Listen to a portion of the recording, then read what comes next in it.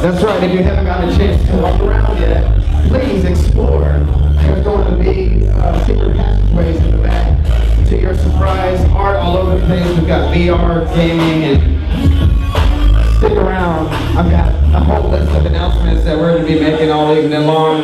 We want everybody to be making transactions on the blockchain while you're here.